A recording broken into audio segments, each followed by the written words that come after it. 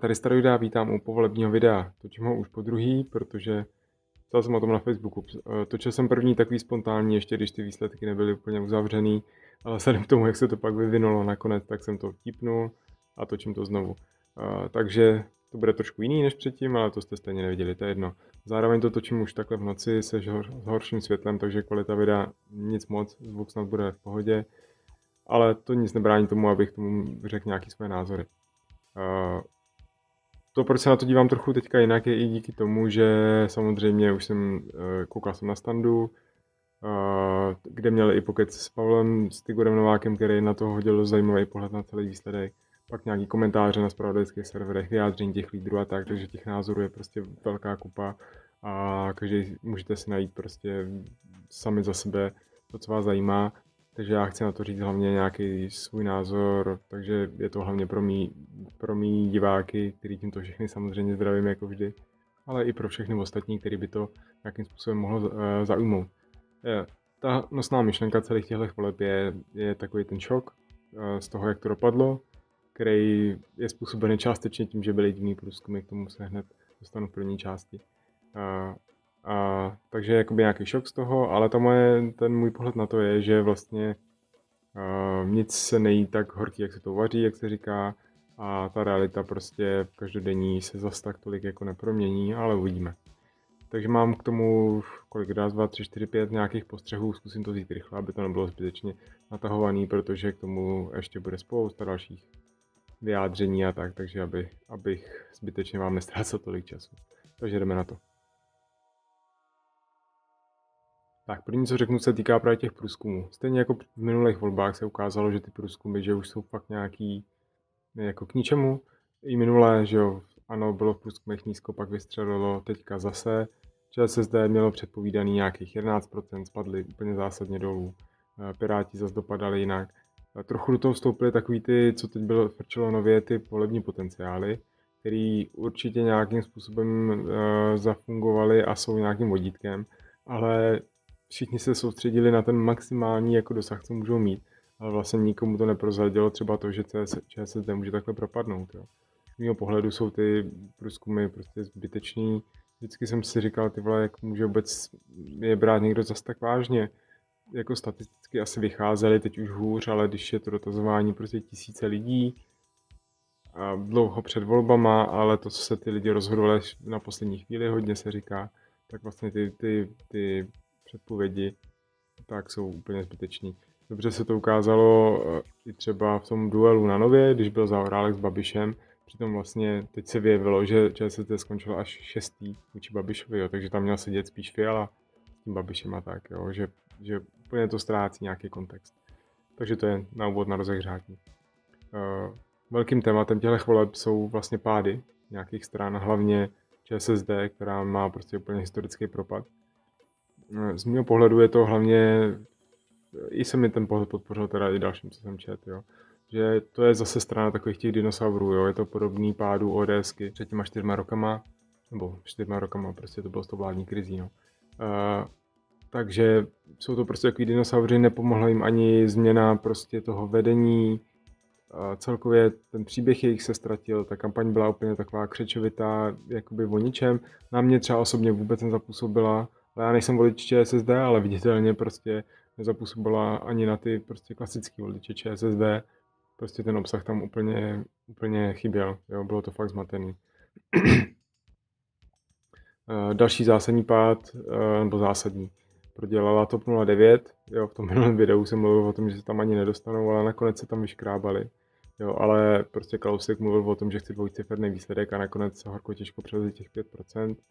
Eh, dobře to zhodnotil Ferry v rozhovoru, který mimo jiné se dostal teda díky preferenčním hlasům jako nejmladší poslanec do sněmovny, takže toho asi začnu sledovat, protože mě zajímá to, jak o tom bude referovat, což sliboval.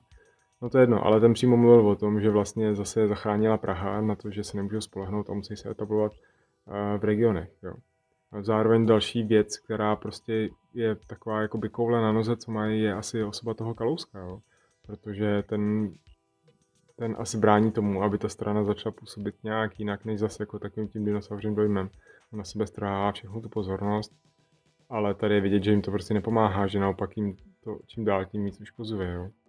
Takže spíš i o tom mluvil Pavel Novák, že by stálo za to tam spíš dostat nějaký jiný lidi, vyhnout a toho Kalouska nějak prostě už odložit do důchodu asi politického. Eh, další pád, který tam byl, tak je KDU, což bylo to víceméně jediné, co já jsem dovolil v těch volbách řešil v těch výsledkách, protože jsem je volil, kde vlastně se propadly až k nějakému asi tomu svýmu jakoby jádru. Tady ten propad, jakoby čím je způsobený, jde asi o to, že oni prostě nemají co nabídnout víc. Jo. Zároveň je trošku poškodilo asi to angažmá v té vládě, kterou Andrej Babiš prostě důkladně ostřeloval, i když byli její součástí. A zároveň, jakoby, když minule získali víc procent, tak to bylo možná tím, že, že měli nějaký punt novosti s tím bylo brátkem a zároveň, že, uh, že nebyly jako jiné strany, které volit jakoby nějak, nějakým způsobem, ale tady najednou těch stran bylo víc, včetně starostů, se si kradli do voliče trochu a zůstalo jim jen nějaký to jádro a zase jim to horko těžko stačilo. Takže byl Brádek ten asi nabídne rezignaci, protože říkal, že když nebude mít výsledek lepší než minule, tak to udělá. Jestli se tam dostane Čunek do popředí, tak to je v tu chvíli pro mě asi nevolitelná strana, ale to se uvidí. Uh, další pád, co jsem si na poslední chvíli vzpomenul, že by stál za zmínku, jsou strana zelených. Já už jsem o nich mluvil, jakoby proč je znova nebudu volit, protože jsem je volil protože z mého pohledu se úplně propadli jakoby v zapomnění, vůbec se o nich nevědělo. Ale nezachránil to prostě ani Stropnický, který naopak machroval, že, že on bude tou mediální figurou, takže prostě nedostali se ani na těch 1,5%, kdyby měli získat nějaký příspěvky státní, takže ty jsou vlastně vyřízený. Jo, asi nemají na té naší scéně místo, je to škoda pro ty zelený témata, ale zároveň tu ekologii a životní prostředí řeší i další strany, konkrétně lidovci to řešili, no ale ty nemají žádný teďka moc cílu ano, SPD a, a ODS, Piráti, ty to asi zas tak řešit nebu, ne, nebudou, no, takže to, tyhle témata asi teďka budou zase trošku zatlačený. Uh, co dalšího? Uh, zásadní samozřejmě je, kromě toho, že teda to Babiš všechno vyluxoval, tak je ten úspěch, úspěch SPD, to Tomia Kamury, který má ten svůj vytoužený uh, dvouciferný výsledek, bylo ale fajn sledovat, jak prostě z těch původních eh, odhadů postupně klesal, klesal, až z druhého místa se propad až na čtvrtý. A takže to bylo aspoň trošku taková záplata, nebo taková náplast pro ty, co jsou z něj úplně jakoby hotoví, že prostě jak ho můžou lidi volit. No. Já si myslím, předtím jsem si to myslel víc, teď už si to myslím možná trošku méně, že prostě on nebude ve vládě, jo, SPD prostě si nikdo k sobě nevezme, Okamuru, jo, protože to je tak nestabilní prostě osoba, a to hnutí jako neví, asi se neví, co u nich čekat. Jejich agenda je proti kvotám, které jsou už teďka stejně pasé, protože to Evropská unie přehodnotila, proti islamizaci, která tady žádná není, jo, a pak ta přímá demokracie, anebo prostě referendum o vystoupení z Evropské unie. A to nikdo jiný, kromě komunistů, nechce. Jo. Takže samozřejmě teď je Babiš ten hlavní, kdo bude určovat to další jednání, protože bez něj ta koalice nevznikne. A takže jestli si je nakonec vybere, nevybere. Tady je důležitý možná za zmínku, že teď v těch posledních chvílích se Fiala i Bartoš, jakoby ODS, Piráti, druhá, třetí strana vyjádřili, že s Babišem prostě do koalice nepůjdou. Takže jakoby ono možná nic jiného jako nezbyde a to by bylo dost jako strašidelný. Každopádně já si furt o té straně o SPD myslím, že to je prostě jenom populistický projekt, kde je hlavní tvář Okamura a ty lidi zatím další, kteří tam jsou, tak jako co to je za lidi jo, jestli jsou vůbec nějaký schopný. Uh, asi to nebude úplně vytunelovaný, jak, jak byl úsvit, ale pak, pak si myslím, že taková najednou ta zodpovědnost, jo, která na ně teďka přistála díky tomu silnému mandátu, tak prostě je to nějakým způsobem musí se mít, protože to nejsou politici, to jsou prostě kecalové. Tak, další téma zařazený teďka nově, to jsem v minulém videu neřešil. To jsou ty možné koalice, co se teďka budou rodit. Co já si myslím, že ta vláda vznikne relativně brzo, nebo že se ta situace rozřeší docela brzo. Rozřeší, říkám, protože tam je i varianta předčasných voleb. Ty koalice, které se skloňují, možná asi teď nejpravděpodobněji bude vypadat to, jak to bylo doteď. Ano, plus ČSSD plus Lidovci, ale tam docela vá, vázne to vyjádření Bělobrátka teď aktuální, že oni furt nechtějí s někým být trestně stíhaný, což teď Babiš teda není, díky tomu, že má novou imunitu ale i se vyjádřil teďka po těch volbách, že jsou připravení do opozice, ČSSD si bude lízat rány a když by vstoupili do té koalice, tak budou prostě v podřadní pozici a to se jim vůbec nemusí nutně líbit. Mně se ta koalice nezdá úplně pravděpodobná, jenže kdo pak zbývá, že jo? Jediná jakoby dvoustraná koalice, která si může vzniknout, je ANO plus ODS, kde se Fiala vyjádřil, že s Babišem do toho nepůjdou, takže jak, jaká tam je šance. Zároveň ty lidi, kteří jakoby se dostali do té sněmovny, tak to jsou spíš ty z toho křídla jakoby proti Babišovskýmu, ne z křídla Klauze. Další možnost jsou ANO plus Piráti plus někdo, kde se to tak eh, vtip, no, kde se tak jakoby to trochu přemíjalo ještě před těma volbama, že by mohli spolu, ale Piráti se za prvý vyjádřili, že nechtějí s Babišem, měli ho na vězenském autobuse, že mají těch 20 prostě nějakých tezí, který chtějí do té vlády přinést, když by s nimi někdo chtěl spolupracovat. A hlavně teď po těch volbách, když Bartoš promluvil ke svým lidem, zase jsem viděl video, tak hlavně mluvil o tom, že prostě se zúročilo těch 8 let jejich tvrdý práce a že to hlavně nesmí podělat. Takže já si myslím, že ty budou fakt důsledný v tom, eh, jakým, jakou cestou půjdou dál, ale to ještě zmíním. Tím, že vlastně se vyštípávají z toho ty fiala, Piráti, Topka nepřipadá v úvahu, ČSSD s lidovcem a kdo ví, tak tam nakonec vlastně zbývá ta varianta s tím SPD a s těmi komunistama. A já jsem, jak jsem říkal, že SPD v té vládě nebude, tak ty vole, tohle asi, já nevím, jestli ten Babiš bude potom tak toužit, eh, že by s nima do toho šel, do této vlády. Nejsem si jistý, jo, protože další varianta už pak jsou asi jenom předčasné volby. A je jasný, že v těch předčasných volbách by Babiš rozhodně nestratil, protože ten jeho marketing funguje za každou, za každou, za každý situace Okamura by asi taky nestratil, do... já nevím, jak by mohli dopadnout případný uh, předčasný volby. Možná by Piráti ještě dostali ještě víc hlasů, jo. Třeba bych je volil já. Uh, takže ty varianty jsou prostě zvláštní, ale nechám ty strany a politologii a Zemana, ať si to nějak jako vyřešej. Já si myslím, že to řešení budeme znát relativně brzo. A čím to ukončím?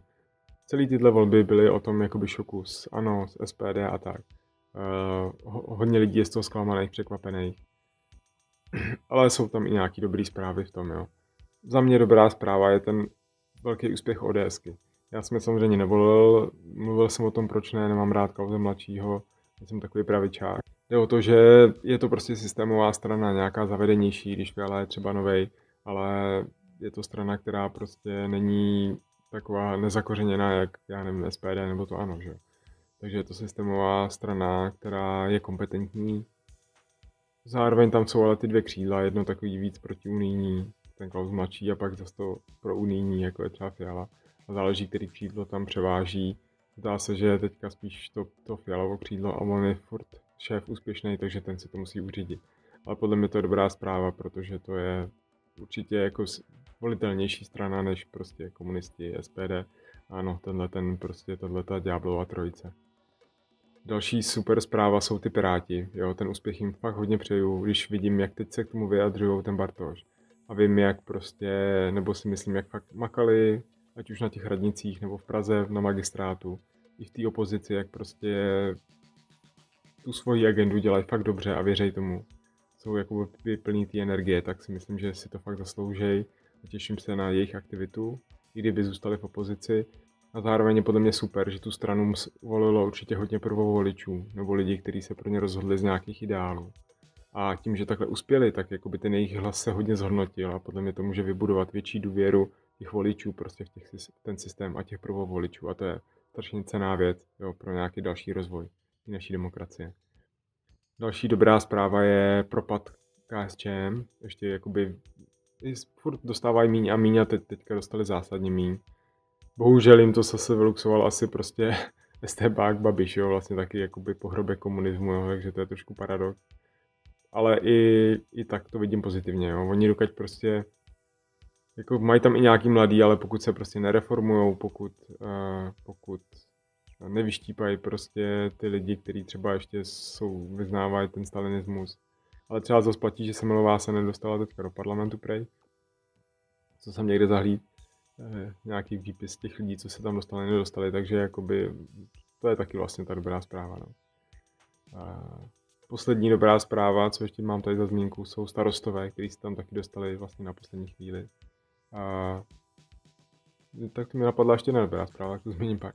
A těm starostům vlastně to nakonec i přeju, protože se minimálně etablujou o to víc jako ta samostatná strana. Podle mě jejich místo je víc v těch regionech a na těch krajích, kde fungují dobře. A pro ty starosty z té komunální politiky, pro ty osoby těch starostů je přirozenější postupovat takhle třeba pomalej.